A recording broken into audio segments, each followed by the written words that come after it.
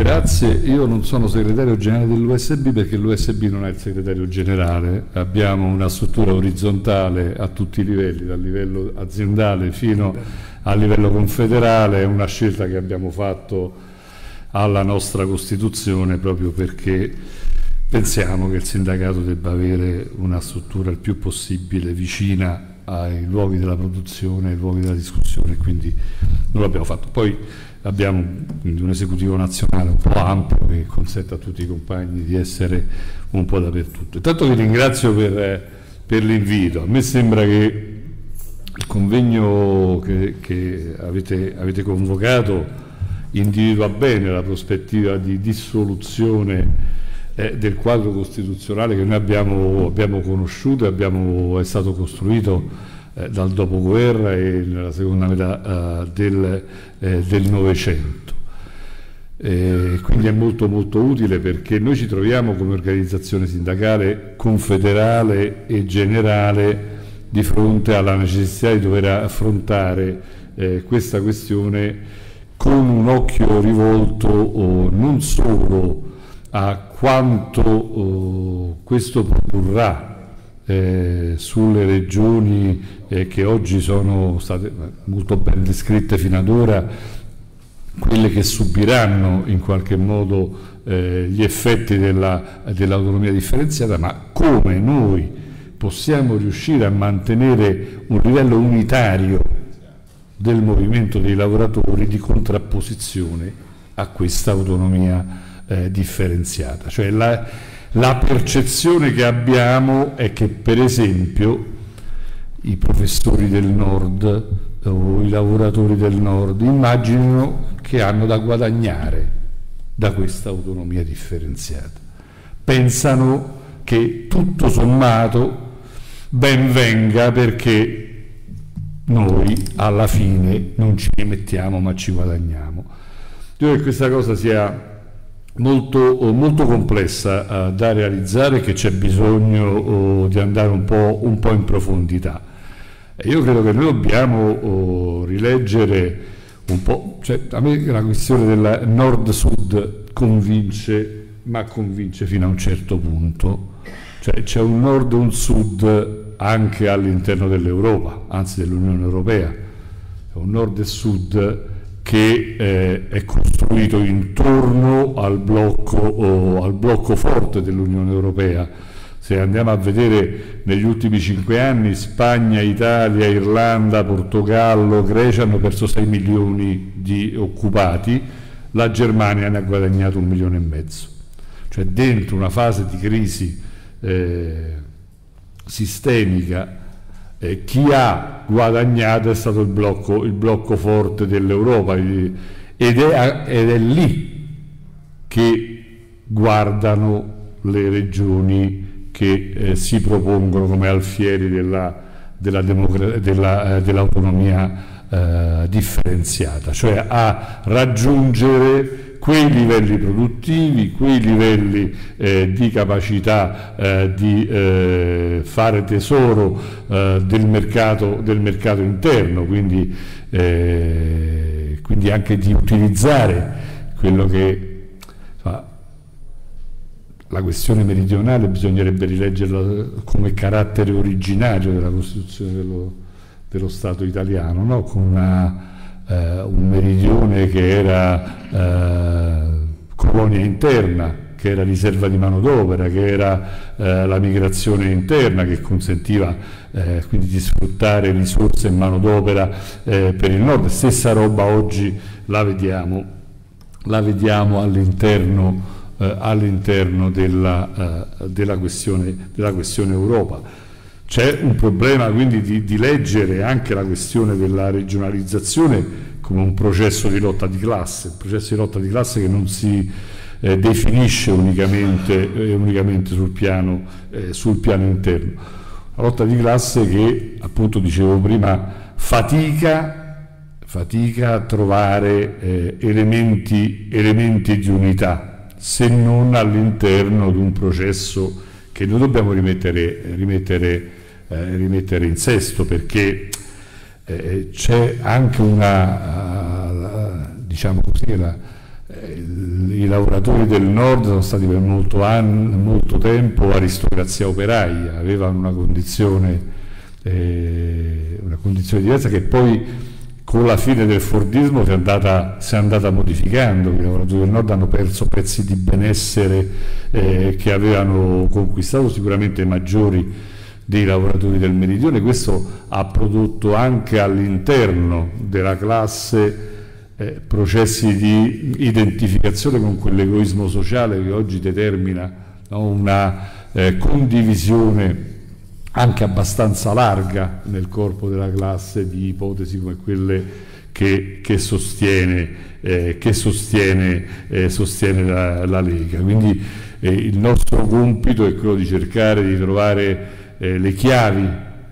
per rimettere assieme eh, gli interessi eh, generali della classe rispetto a quello che invece si fa come, come tentativo, come operazione di eh, schierare eh, il mondo del lavoro del nord a fianco degli interessi della borghesia del nord e degli interessi economici del nord, eh, rompendo così quegli elementi eh, che non sono solidarietà, ma eh, consapevolezza di uguali interessi di classe che dovrebbero tenere eh, tenere eh, assieme i lavoratori del nord e i lavoratori, e i lavoratori del sud.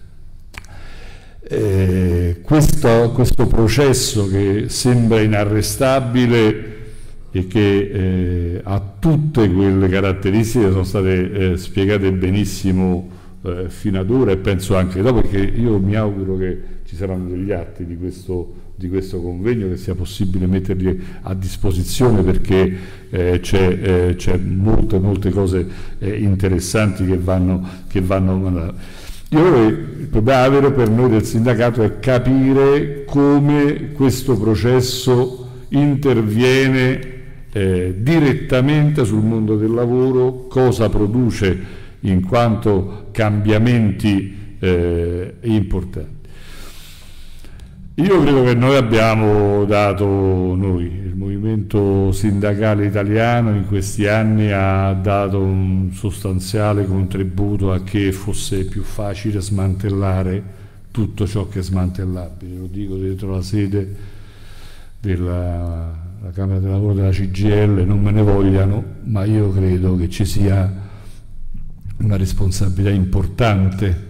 nell'aver disarmato il movimento dei lavoratori di alcuni strumenti eh, storici e fondamentali. Oggi a Roma c'è una manifestazione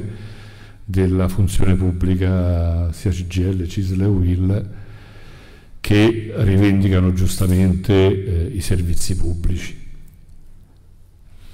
Io sono stato rimasto un po' perplesso perché quando si introduce il welfare aziendale nei contratti di categoria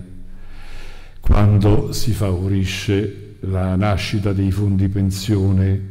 eh, non come eh, strumento collaterale ma così contribuendo un po' allo smantellamento della previdenza pubblica per far crescere la previdenza, la previdenza privata, quando si introduce la questione delle assicurazioni sanitarie che debbono in qualche modo eh, provare a risolvere eh, quella difficoltà che il Servizio Sanitario Nazionale ha oggi perché volutamente eh, messo in crisi da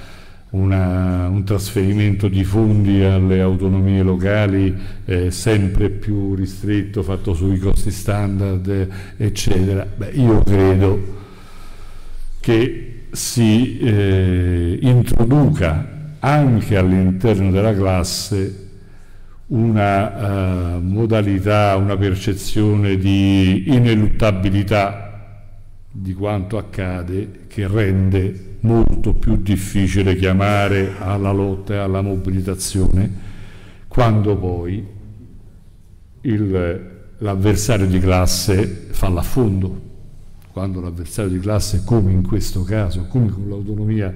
differenziata, va a produrre eh, una, eh, una, trasformazione così profonda. In particolar modo io credo che la questione degli assetti contrattuali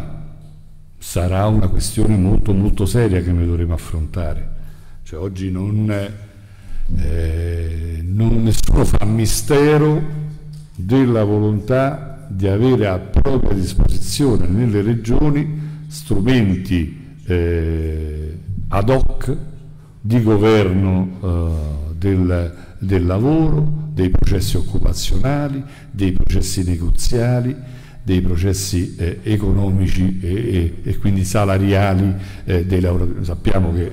insomma, il lavoro gratuito è stato sperimentato in questa regione con, con l'Expo, cioè, non è una cosina da poco che è la stessa Lombardia che ha fatto eh, l'Expo con quelle, con quelle caratteristiche oggi chiede di avere in qualche modo mano libera sul piano contrattuale, sul piano salariale, sul piano delle regole del reclutamento eh, dei lavoratori, così come la questione, la questione, della scuola o del servizio sanitario nazionale. La questione della scuola è molto, è molto importante,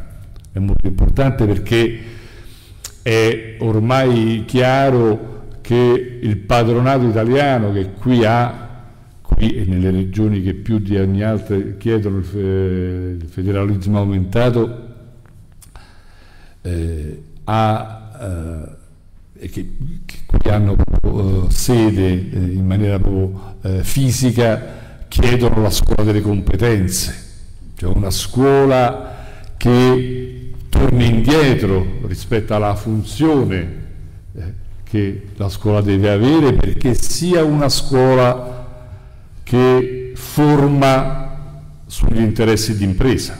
che forma ad essere utilizzabile, gestibile eh, in fretta e furia con quelle competenze professionali che oggi servono al mercato, che vengono definite di volta in volta quando l'impresa stabilisce qual è il suo obiettivo, qual è il suo eh, core business e lì va fatta la formazione, eh, la formazione dei ragazzi, dei nostri, dei nostri ragazzi. E questo vuol dire anche mettere, eh, dire, definire una volta per tutte che la scuola, l'insegnamento, la formazione non è formazione che deve produrre capacità eh, nei nostri ragazzi, ma deve essere semplicemente e immediatamente utilizzabile e sfruttabile a livello di impresa. Il Servizio Sanitario Nazionale l'abbiamo visto, noi viviamo una condizione eh, in molte regioni d'Italia di assoluta inadeguatezza, anche se viene, il nostro sistema sanitario viene rappresentato come uno dei migliori al mondo. E, e questo sistema sanitario che viene rappresentato come uno dei migliori al mondo ha dei livelli di eh, garanzia e tutela delle, delle prestazioni assolutamente insufficienti in molta parte del Paese e con una riduzione di posti letto e di personale che oggi è impressionante. A oggi è impressionante. Voi immaginate che noi abbiamo, quando eh, programmiamo lo sciopero nella sanità, ci chiedono livelli di presenza di personale sanitario negli ospedali superiore a quello che è eh, quotidianamente in forza nelle, nelle corsie. Cioè se noi programmiamo lo sciopero ci dicono che ci devono essere 10 infermieri e normalmente tutti i giorni in quella corsia ce ne sono 6, ce ne sono 7 perché le scoperture organiche sono talmente alte che non riescono neanche a coprire, a coprire. Io credo che noi oggi abbiamo un problema molto serio, quello di avviare un percorso immediato e senza sconti del movimento oh, operaio e del movimento dei lavoratori contro il federalismo aumentato, senza sconti perché non c'è la possibilità di mediazione rispetto a un progetto del genere. Qualsiasi mediazione, qualsiasi concessione da un punto di vista della classica modalità italiana di provare a, a mettere di norma alle cioè quelle cose che facciamo quando facciamo le trattative sindacali in cui per cercare di no? mediare, non, non, fare in modo che sia tutto così immediatamente diretto, si usa, beh io credo che questa volta non ci sia alcuna possibilità da parte di nessuno, almeno per chi vuole eh, continuare ad avere una funzione confederale e generale, di produrre elementi di ambiguità eh, rispetto, rispetto, a questa questione. Eh, credo quindi che avremo molto da fare, quello che più avremo da fare probabilmente sarà nei confronti del movimento dei lavoratori del nord, perché mentre al sud stiamo già costruendo eh, mobilitazioni, momenti di, eh, di forte eh, contrasto al, al federalismo aumentato, siamo ancora nella fase di, eh, invece di, eh,